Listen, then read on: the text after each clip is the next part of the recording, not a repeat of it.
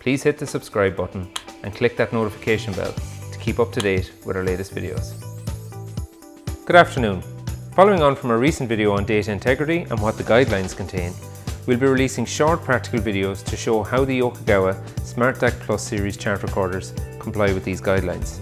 Today, I will demonstrate some of the key functions through the GX20 chart recorder hardware, like I have here, including security settings and the recent audit trail enhancements.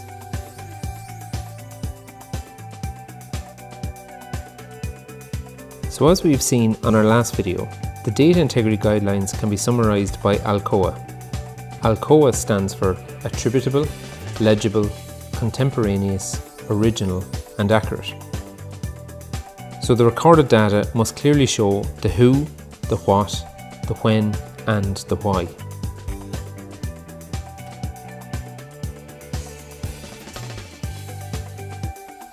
So we're going to show you some of the functions and features that have been added as part of a firmware upgrade that was released by Yokogawa last year, which focused primarily on adding features for the data integrity compliance.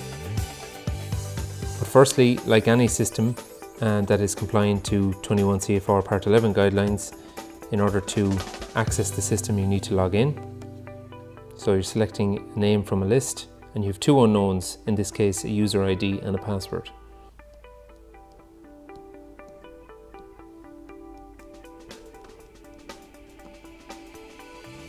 And now you're into the system.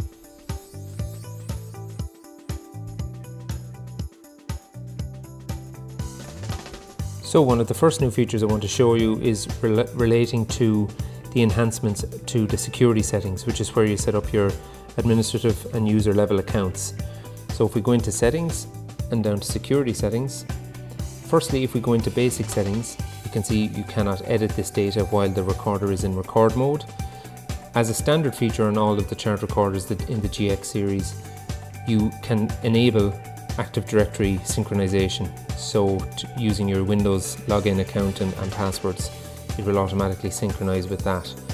If you're using a local level, you can define now to add a password policy, which previously uh, was set at default, where now you can set a minimum character length, define whether the password should include upper lowercase numerical characters or symbols. And you can also give operators uh, an advance notice of when their password is about to expire. Another new feature that's been added is under user settings. So previously you had the option of setting either an admin or a user level account.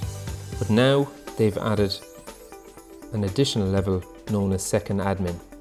And second admin essentially allows you to set up uh, a, a, like a super user account which can set up other user accounts, unlock accounts or reset passwords for people that may have got locked out. So it's an ideal level to set for the likes of a shift supervisor who maybe you don't want to give full access to all of the configuration settings, but who may need that level of access to enable them to add new operators, reset any accounts, etc. And it's a nice new feature of the system. When you come out of that, then you can define that admin property. So admin authority level, we can set, as I've said it here, that the basic settings of the configuration are locked, but they can access user account levels. So essentially, as I said, it's like a super user on the system.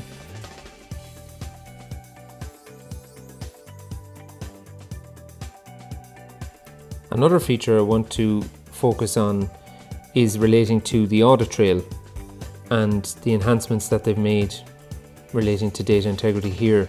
So if I start by making a small alarm set point change, for example. So I can go into channel 1, change the alarm set point, select save. It's now forcing me to enter a comment that's going to be linked to that change.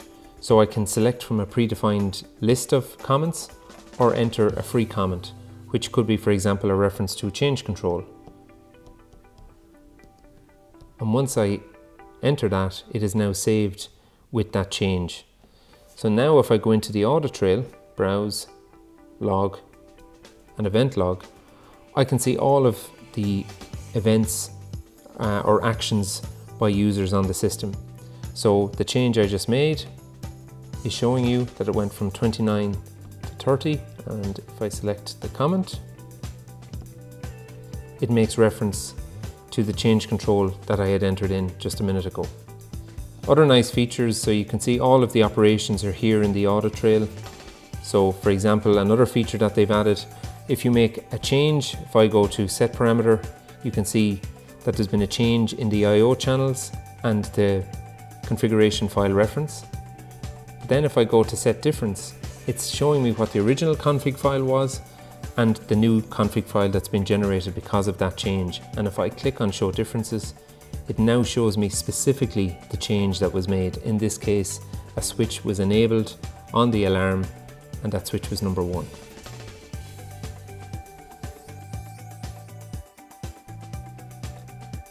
One of the last features I want to show you today is around alarm management. So these Yokogawa chart recorders that we supply can be used both in batch and continuous monitoring applications. And one of the more common, I suppose, applications we see in recent times is around EMS or environmental monitoring. So like in this configuration, you have clean room temperature, humidity, differential pressures, you might have product storage or warehouse monitoring. Um, and in these scenarios, no different than in batches, as well as providing secure, reliable data and accurate data. The management of alarms is, is very important and to be able to notify people via email or by local indication on the system and also to ensure that it meets all the compliance requirements also. So if I just generate a quick alarm, you can see channel 1 has gone into alarm, so it was set at a high alarm and you notice that the alarm has changed from red into grey, which means it's back in a good condition. However, it is giving us a notification that there is an alarm on that channel. So I can click on that channel and I notice that I need to acknowledge an alarm. I can see that that's flashing because it hasn't been acknowledged. I click OK. And like with the configuration change, some of the enhancements also include the ability to force operators to enter a comment or a reason for that alarm, be it when they've resolved the issue. Um, and again, I can select a predefined comment from a list or enter a reason such as door open on freezer, for example. And that gets applied to the record. You'll also see I had pre-configured the system that in the event of an alarm, it would enter a comment high temperature in clean room, for example.